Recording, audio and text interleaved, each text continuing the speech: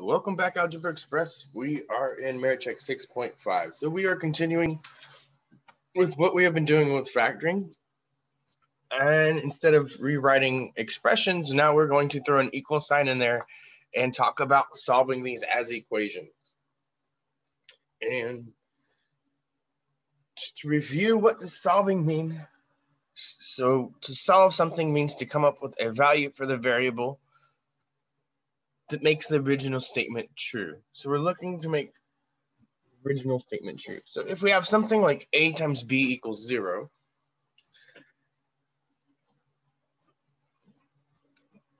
there is something we can say about either a or b. So if we have two things being multiplied to zero, the way that you get things to multiply to zero is by multiplying by zero. So either a is going to be zero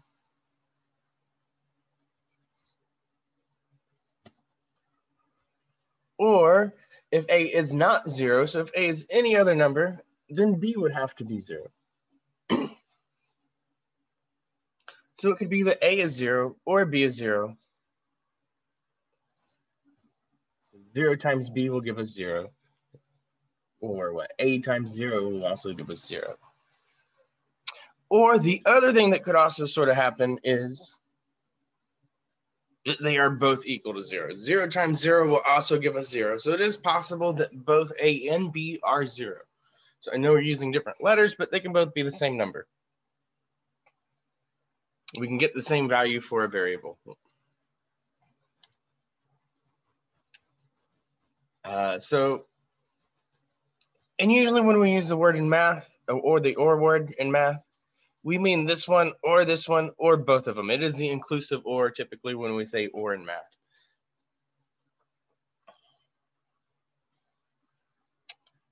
And so when we use or in everyday language, it is not always like a super uh, obvious which one we're using, right? Sometimes when we say or, you're like, either shut up or get out of here, right? I mean to do one or the other, right?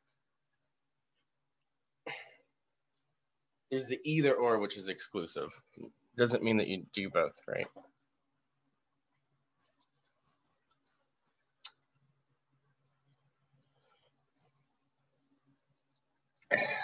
Okay, so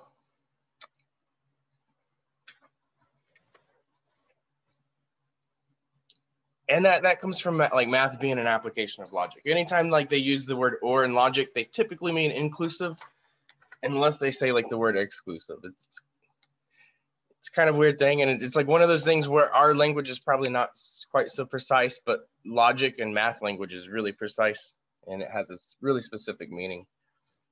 Uh, so we want to be able to solve this using that principle. So the way we're going to sort of look at this is like this is like this thing is sort of like my A here.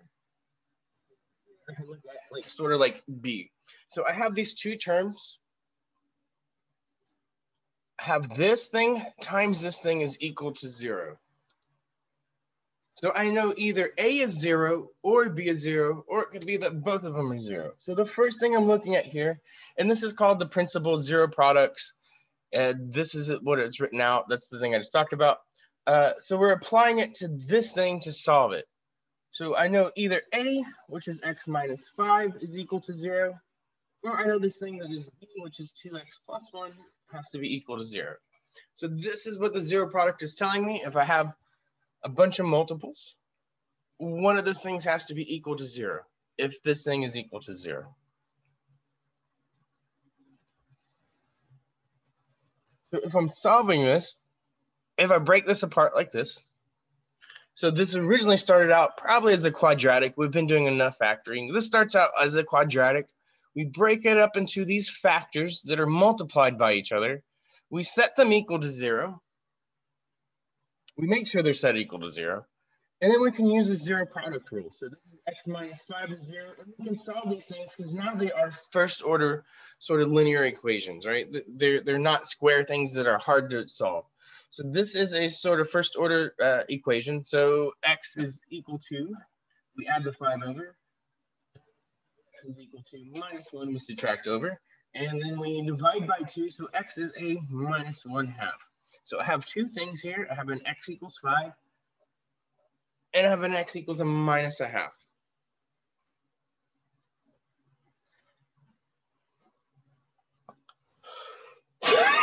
so I didn't say this, but I want to like jump back just to like back this is zero principle, zero zero product principle. Um, and so a times b equals zero gives us either a equals zero or b equals zero. Any other there, like a times b. A times b. Can we say anything about a and b like we can in this equation or in this principle? And the short answer is maybe circles of each other, right? But there is nothing that we can say really uh, about these things in the the uh, in what a and b could equal. We cannot set like a and b equal to some cer- certain number, right? We can solve for a or b. So one over b for this one maybe. So we could rearrange this thing. We could rearrange these equations, right? But they're still going to have two variables in there. Like we're not going to get rid of a variable.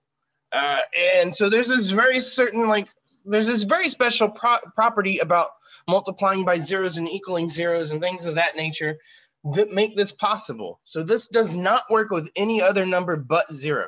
So I'm going to say that, make a point of it, and it might come up later. Wink, wink, nod, nod. But it only works with zero.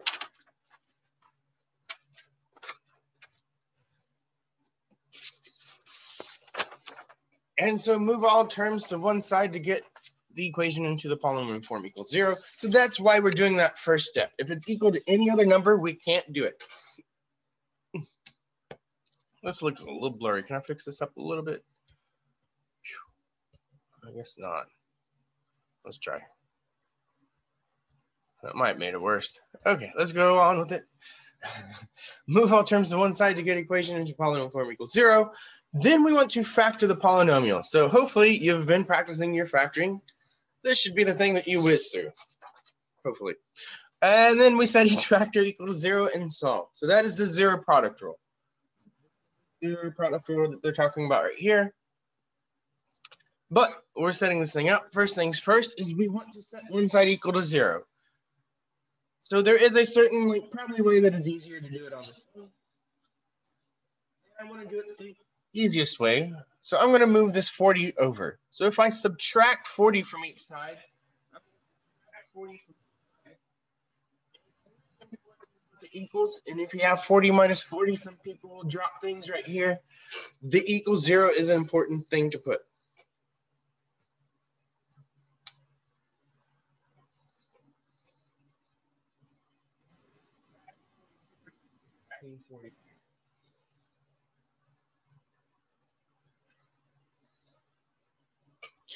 So we have 40 minus 40 is going to give us zero. Be sure to put this equal zero. Now we have something that looks like 15x squared minus 10x minus 40. So I might notice there is a, the first things first when we're factoring.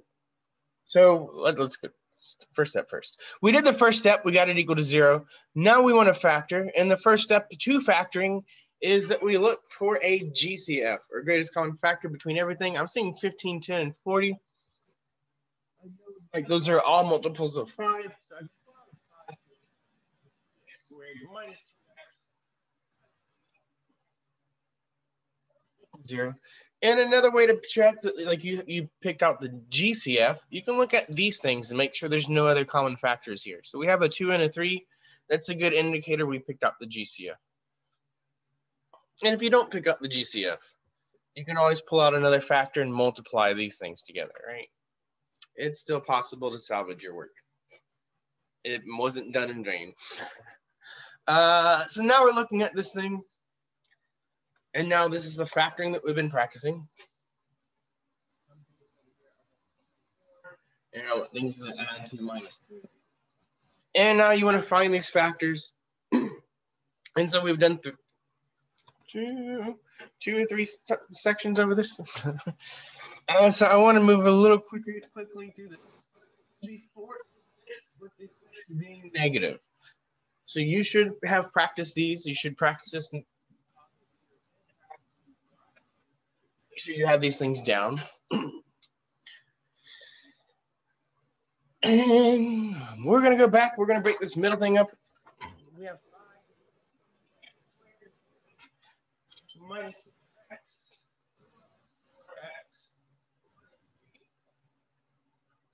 This is equal to 0. I want a group and factor, a group and factor. X minus 2. We got a 4, and I have an x minus 2. Give me 0. If you want, you can bring down that 5. And my three factors are 5. I have a 3x plus 4 and I have a x minus 2. I have this thing fully factored. So step one was to set one side equal to zero. Step two was to fully factor this thing. Step three is the thing we just learned. So you might be looking at this. Saying five equals, no. So there's no way your five is going to equal zero. That's not going to happen. So if you have a constant over here, to be honest, you don't really have to worry about it. But if there is a variable over here, you do have to account for it. So we just pulled out a constant. It's not a, it's not, five is never going to be equal to zero. So we don't have to worry about that factor being equal to zero. But potentially this one could be zero. This one could be zero. So if 3x plus 4 is 0, then 3x is a minus 4, and x is a minus 4 divided by 3. So minus 4 thirds. If this is 0, x is equal to, we add the 2 over, x is equal to 2, or x is equal to minus 4 thirds.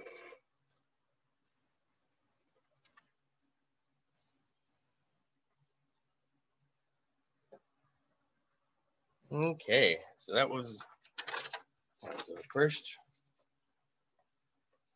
First one we factored and solved. And we had to move stuff around. Look at that. okay, so now I want to do this x to the third minus 2x squared minus equals a minus x. So the first thing you might notice is this is not equal to zero. So we have to set one side equal to zero. So I would add the x over. So I'm going to write it over here. I think x to the third x squared. And when I add this over now we want to, we, we've done the first step, we've set it equal to zero. The next step is factoring this thing. So how do you factor this thing? What's the first thing you should do? and if you don't do this, it's gonna make the problem a lot more difficult. Everything has an x in it. I can take an x out. x squared minus two, x plus one is equal to zero.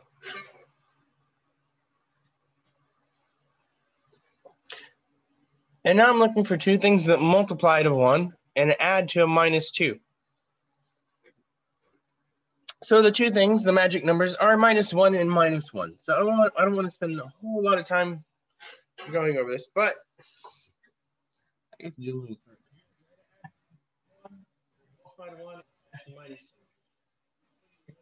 the minus one and a minus one. And so we've done a few factorings, but this is factored into x minus 1, x minus 1. I can use that little shortcut. I'm going to employ that to save a little bit of time on here. If you split this middle term up, you should get the same thing if you do the box method. But I'm going to employ that little shortcut.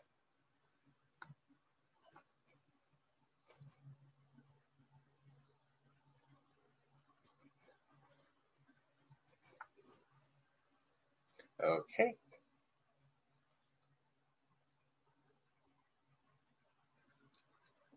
So we're looking here, we have one, two, three things we're multiplying together. So we're looking here, the first option, and it's really important to put this thing. So a lot of people will take out this x and they will forget, forget about him, but he is a potential solution right there. x equals zero is a potential solution. If I plug in zero to this equation, I'm gonna get zero equals zero. If I plug it into this original equation, I get zero equals zero.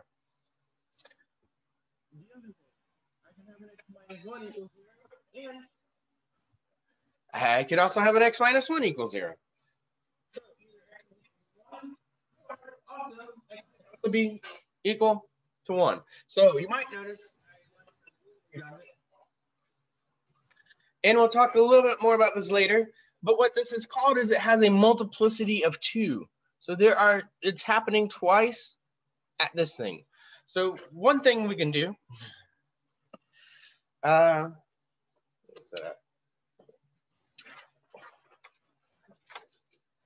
so for number two, we got two solutions, x equals a minus 4 thirds and x equals 2. You might notice that that thing was a quadratic. Here we're getting three things for a cubic. So it like for the solution, there really are two solutions for this thing. But one of these solutions has a multiplicity of two. And it's kind of important to count because if you want to count things back up, we have one, two, three things is going to give us our cubic. So we're expecting three solutions out of this thing. We're only getting two. And part of that reason is because this thing is happening twice.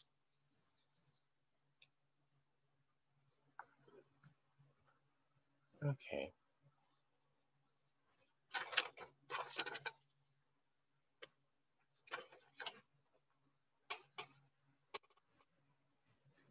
Oh, uh, let's go to four.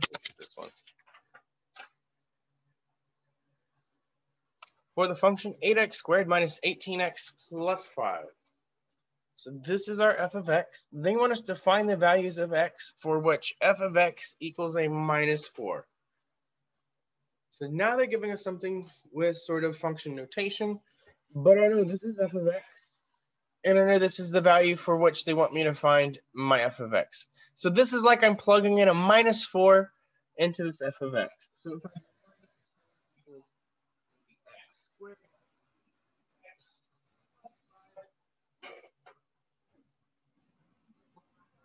There we go. this is what the equation should should this is what the equation setup should look like based on our function definitions. So what do I have to do to solve this, to solve this for values of x, is what they're asking. In order to do that, I have to, the first step Ooh, I guess you could you could try to factor this, but then it's not going to be equal to zero, and our zero product rule is not going to work. So definitely the first step you want to do is set one side equal to zero, because if you factor that thing, like th that work is pretty much all in vain unless they ask you another very specific question. Uh, so you don't want to like waste a bunch of time doing a bunch of work you, you don't have to do, right? So First step first, always remember, always remember, set one side equal to zero. What do I have to do to do that? I have to add four to both sides. So I want to add four to both sides. So I'm gonna like move things around a little bit. I like to put my equation on the left side, x squared minus 18x plus 5 plus 4 plus 9 be equal to this thing, which is zero. Now I have zeroed out one side. I know it doesn't really matter, but this is what I've done all, all kind of my life, getting used to it. Equation on the left, zero on the right. You don't have to do things that way, but that's the way I'm used to. So now we're thinking here, 8 times 9 is giving me what, 72? I have three terms. I got the AC method. I believe the magic numbers are minus 6 and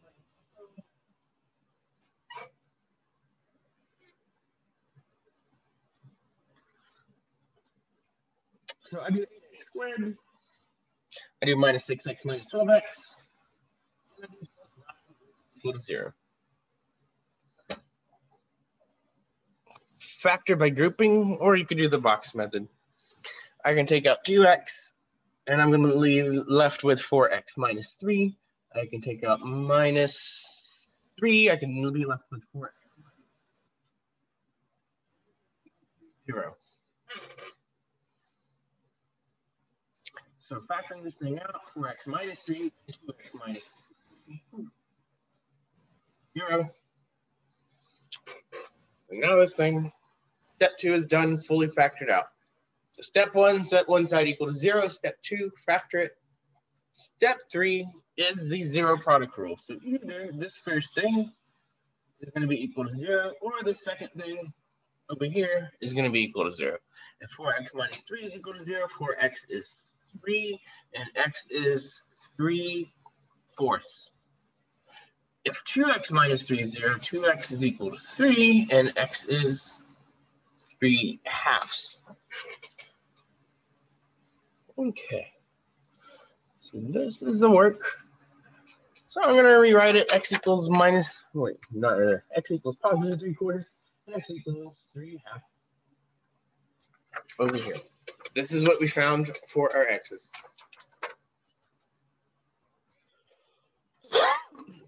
Use this information to find two points on the graph of that function. So remember, our points look like x comma y. Function notation, they're going to look like f comma f of x. So we have two x values. That's where we're getting two points. Quarters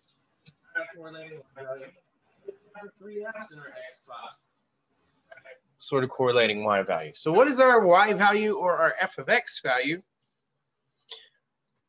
That was the thing that they gave us right here to plug in in the, in the beginning.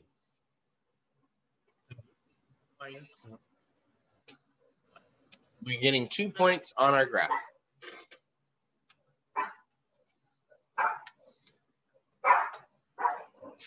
Okay. Okay, so now moving on to the fifth one. Find the zeros of f. Okay. So what does the zero of f mean? If we wanted to write it like we did in the previous one, zero of f would be when you're also known as the x-intercepts. Um, so this is what they're asking. They're asking us to set this entire equation equal to zero and to solve for the correlating x. So we want to solve for our zeros.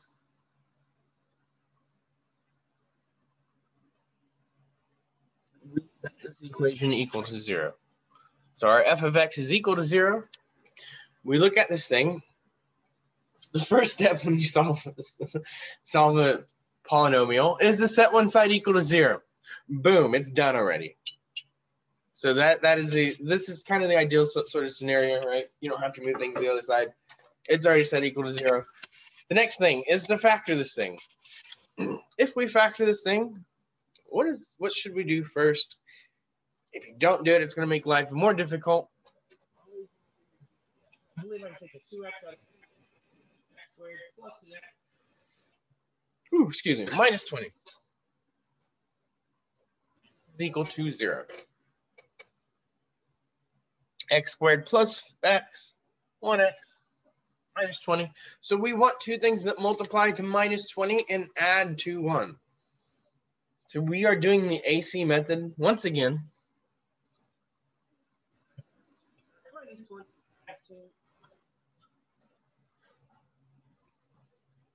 something in these numbers. I believe four and five to do it. Negative five being positive so that it's a positive one. So I'm going to do this pretty quickly. I can use my little shortcut on this thing. So I can jump right to x minus 4x plus 5. I'm going to invoke that shortcut every time I can in these notes. If you don't see it, then that's fine. Like I'm not like do some good work and you will get graded accordingly, right? A lot more important to attempt these things and, and to, than to get every little aspect. And, and, and that's you're still doing correct math, right? I can't count off for doing good good correct math. So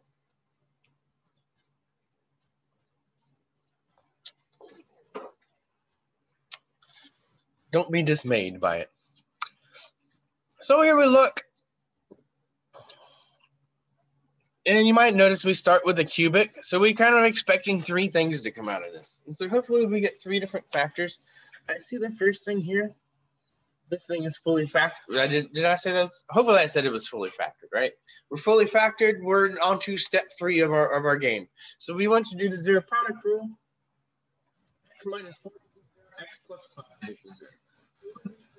X equals zero right here we could divide zero by two. It's just going to give us x equals zero. So I kind of said it like we really don't even have to like worry about these like constant coefficients here, right? But if there is a variable, we do have to worry about it. It is going to give us a solution here. So that two is kind of negligible. The next thing we have x minus 4 equals 0. This, when we add the 4 over, is going to become positive. When we subtract the 5, it's going to become negative.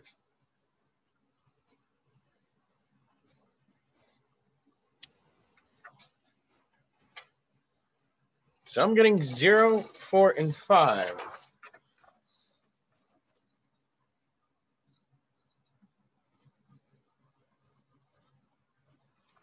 Ooh, negative 5.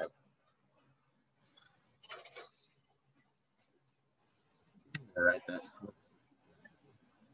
just so we're clear. What are my x-intercepts? So my x-intercepts occur, and I like I hope this is this vocabulary is just like you get it in a snap.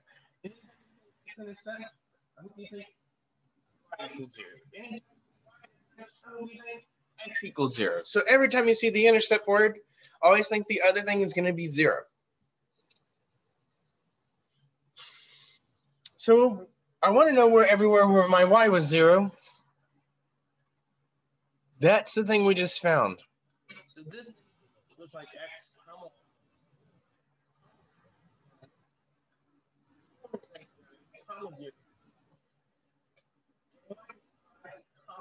This is the third one. So there are three x-intercepts on this guy.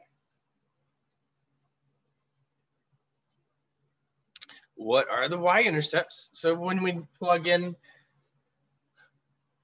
we actually already found it.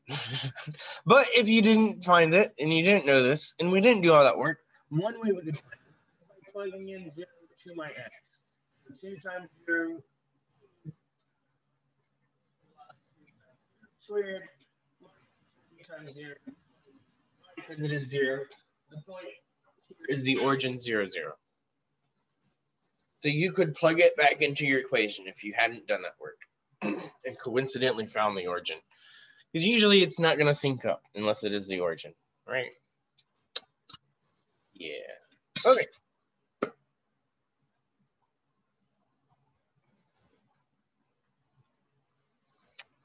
Bit more work. Let's get at it. But that is pretty much, like, I think pretty much the, the concepts are down. We're just going to work through them a little bit more just to get you more comfortable with them.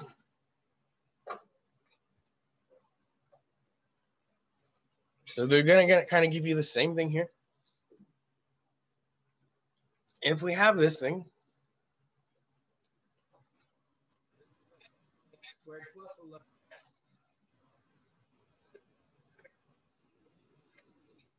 figure out where it equals minus 8. So I believe we have, what, two more of these problems? And then we're going to have one, one word problem that uses the same principle. And I think you'll be able to get at it a little bit better knowing this stuff. So if we want to solve this, first steps first to solving a polynomial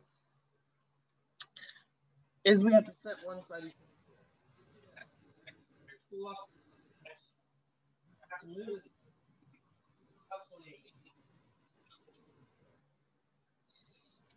So now I have three terms. I'm thinking about doing AC method with 28 and it has to add to 11. So I'm hoping I'll practice these things because I believe four and seven should give me it. Since this is a one in my A place, I can use my little short. plus 4, x plus 7. Either, well, hold on. Let me step back. This thing is fully factored, so I am done with step two. So now I can go on to step three. So either this thing is equal to zero, equal to zero, x plus equal to zero. If that's the case, x is a minus four, or here x is going to be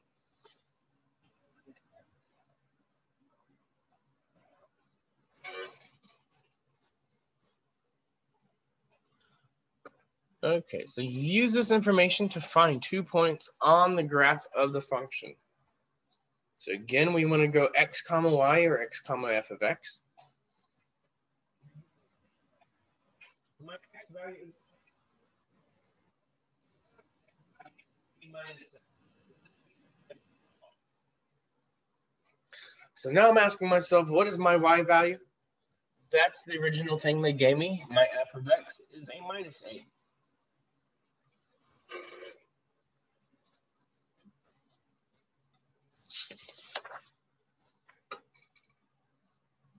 And I don't know, it's coming up.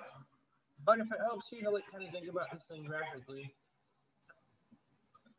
uh, is that one an easy one? No. Okay. Parabola, some sort of positive parabola.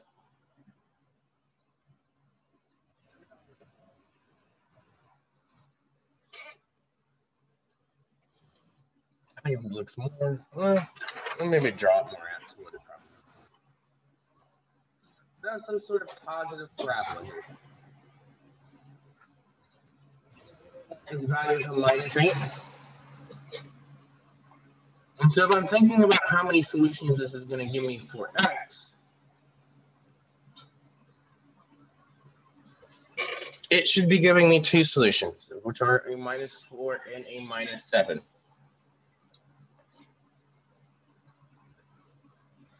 And so you'll notice these two points are minus 7, minus 8, and a minus 4, minus 8. Are the two points I got there. It should look something like this if it helps you to put a picture in your mind of what this thing's sort of looking like. A parabola has is going to turn, so we're going to end up crossing it probably twice.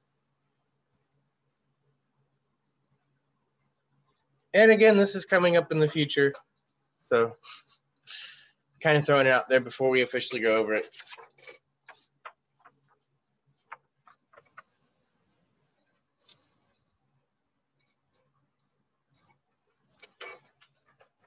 Okay.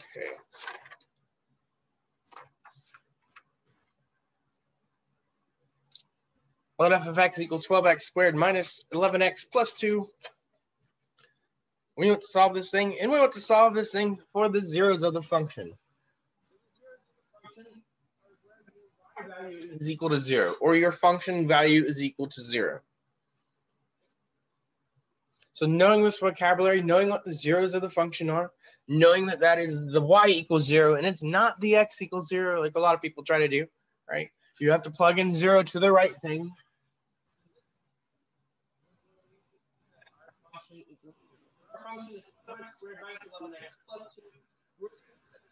equal to zero and solve this thing.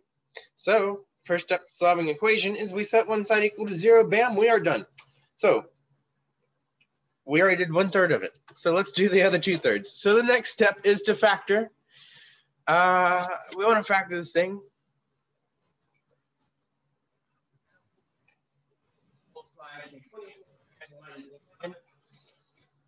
So pause the video, figure those things out.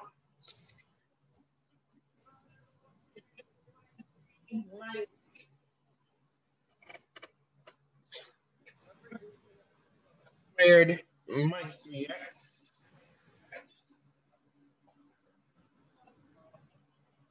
Zero. Leaving these, I'm taking out a 3x. That's leaving me with x. 4x minus 1. I'm taking out a minus 2.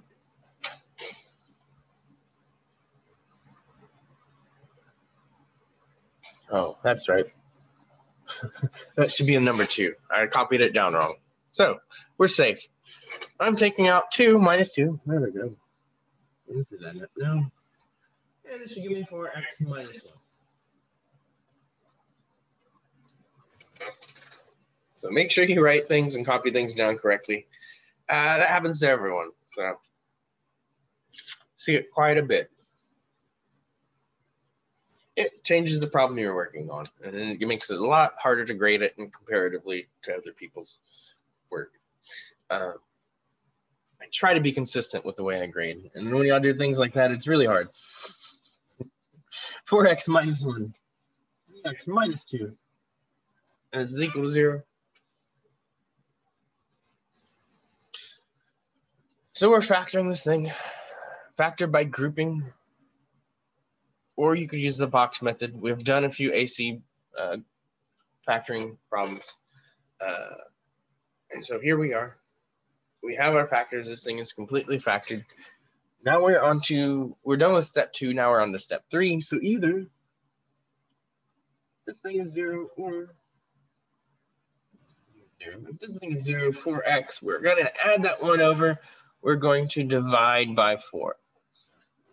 Add that 2 over, we're going to divide by 3.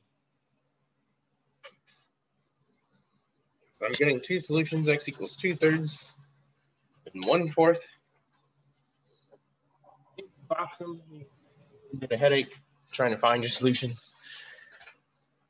And I'll probably grade a little nicer.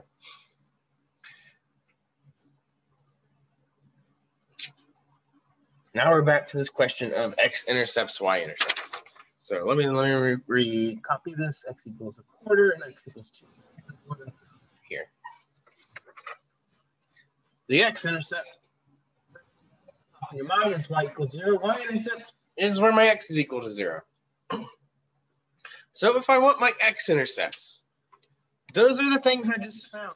The things that quarter, comma zero.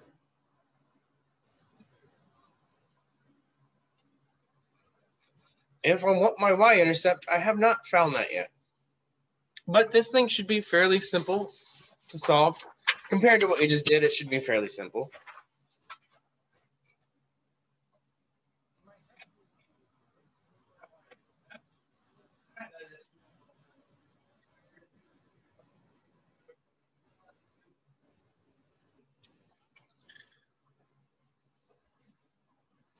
Plug in a zero, it's the fat out of two for my F value. So my y-intercept here is zero comma two. And to be honest, I did a lot of work to find that.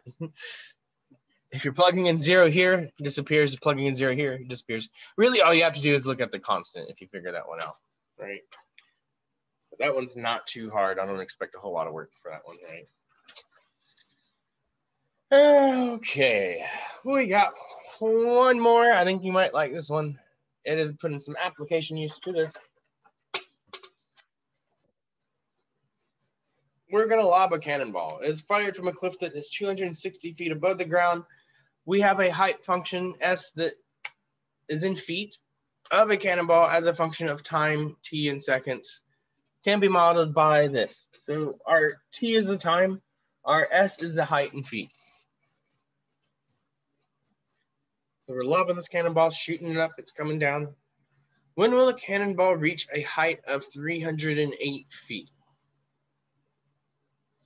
So they're giving us this value 308 feet. And so we really have to ask ourselves, is it a T or is it an S value?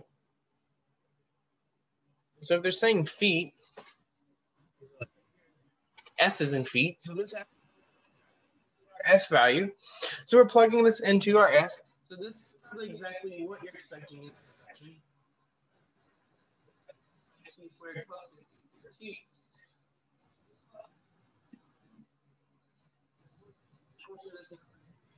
So we want to figure out when our cannonball is at 308 feet.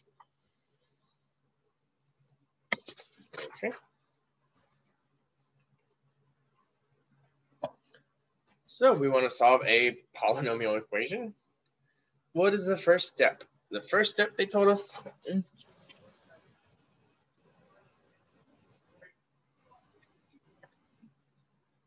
everything over to the right side. God bless you. I don't know what to tell you. But not going to do that. We're going to subtract that 308. Two over there.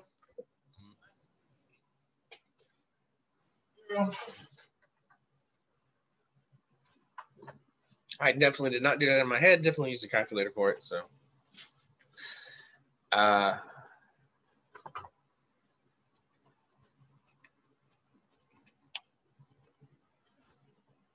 we're looking at 16, 64, and 48. And I'm looking at this thing. I did step one where I set one side equal to zero. Now I'm looking onto my step two where I factor this thing.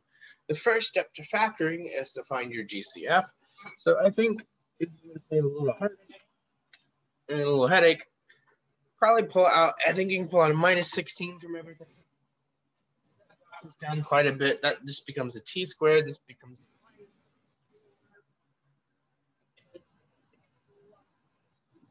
t, and this becomes a plus 3.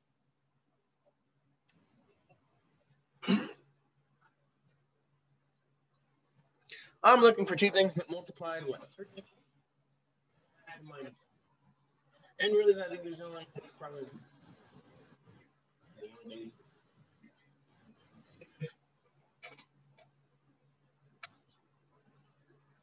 So this one, things you can put down technically I can go straight to the sort of t minus one and t minus three, those two fancy numbers I found, and I can invoke that shortcut. It is I am one right here, so it I am able to do it. So now we have either minus 16 is equal to zero. I don't think that's ever going to happen. Pretty sure those numbers are different.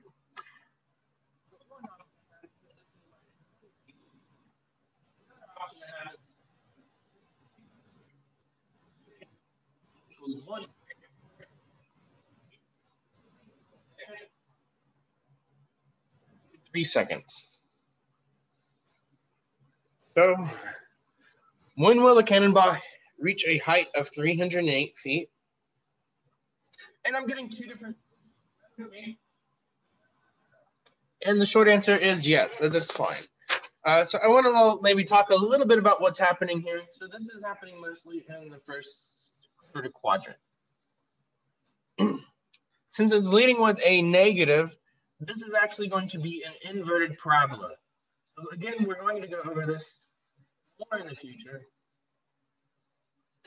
But I'm just trying to give you a general sort of picture, maybe what this thing looks like. And I didn't draw my axis nearly long enough for my parabola, I? But this is like a height of 260 is where they're saying they're going through. Um, the other thing is we wanted to go for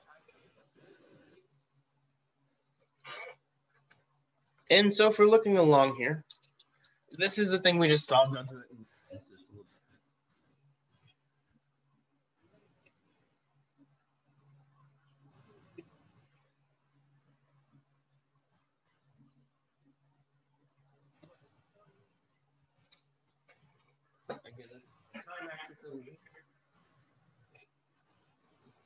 these things, but my time here is one. In my time over here.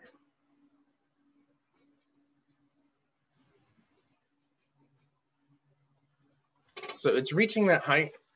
We're lobbing our cannonball. It's going up and it's going to come down. So the height of one is when it's going up, and the and the height.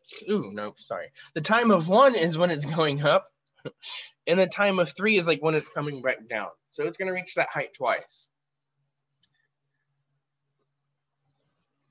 So that is sort of like why we're getting two solutions for that thing. And it is okay. We should get two solutions. It is going to hit that height twice. This is the basics of sort of like what they call projectile motion. So that's what the title of this is. So they really love these like sort of projectile motion problems. Um, we will go more into these things and we will go into more, we hadn't done it yet, but we'll go more into finding how high did this thing go, right? That would be another question that'll come up. Something to look forward to. When will the cannonball hit the ground? So I've drawn the thing. I feel like this is a prettier picture. I'm gonna throw this one in my notes up here.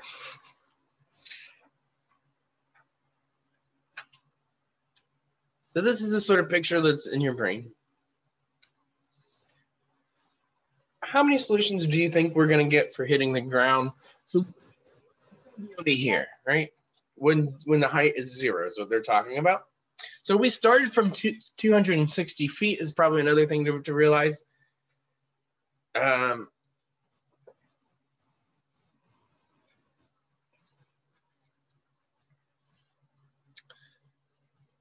And so, how many solutions will we get for time for it to hit the ground? Uh, so there's a weird thing that's happening, and we'll talk a little bit more about it when, when it comes up. We got one more sort of thing to solve for, so there's not a lot. Let's go for it. When will it hit the ground? So my function plus 60 t.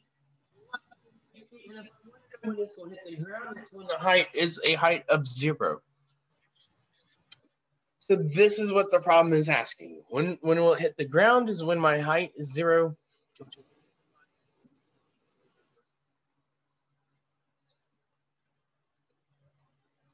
They're telling me to set this equation equal to zero and solve it. So if I do that, I can pull out a GCF of a minus four if I do that, I'm going to be left with 4t squared minus 16t minus 65 and equal to 0. Minus 4. Bring that down. I want to break this thing up. That is not a pretty number. I remember doing this. Not a pretty number. I do 4 times 65.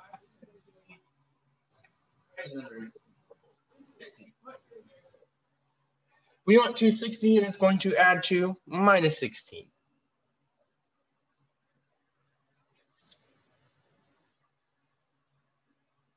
There are a lot of factors. So maybe if we play this a little bit smarter and not harder. 1, 260 is going to be really far apart. 10, that's what I thought. And then if we do that, Oh. Should be minus 260, sorry. The sign should be negative. And if we do that, it might make it a little easier to add to minus 16 because it should be a minus 26. So these are not the prettiest numbers, but sometimes reality doesn't always give you the prettiest numbers. And we got to work with it. We got to work with reality. It gives us t squared uh, plus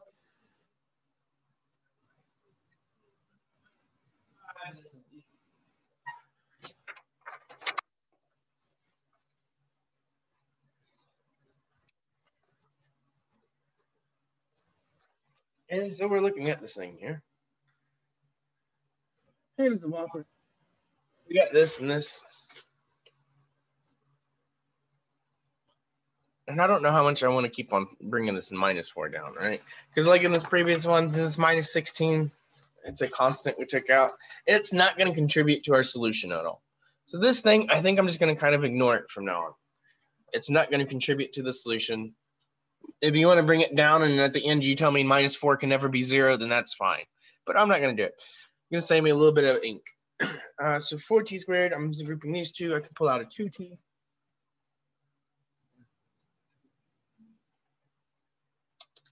Plus 5.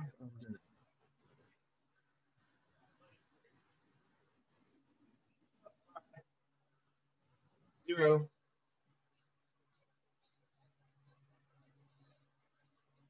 Okay, so 2 t 5 is 1 and 2 t minus zero. So I got my two factors. These, this thing is fully factored. I am done with step two of the game. Now I'm going to on to step three, the zero product rule. So I know either 5 is equal to zero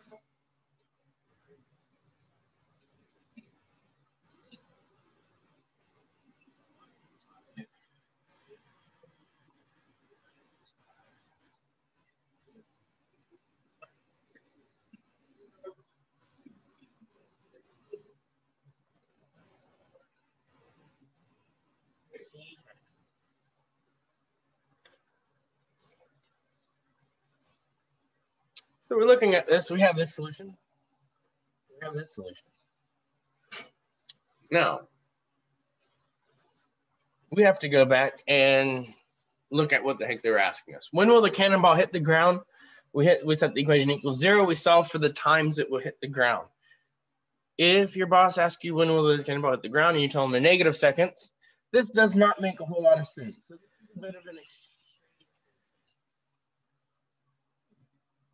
So we're expecting two solutions. We get two solutions, but one of them doesn't really work for what we're doing. And a bit of a reminder, we're getting a negative solution. Our model really should not expand beyond this over here, right? It should only be within the first quadrant here. And so since our model actually expands beyond what is what is realistic, we're going to get numbers that aren't realistic.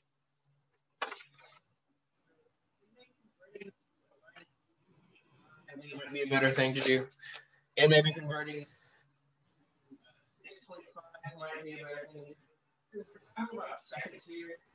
Easier to see like on this graph, like what is happening here. So this would be talking about.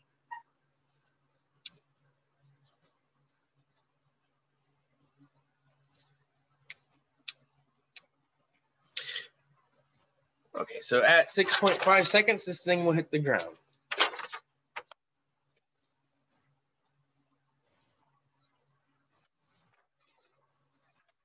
So that is the final problem. We have done factoring, we have done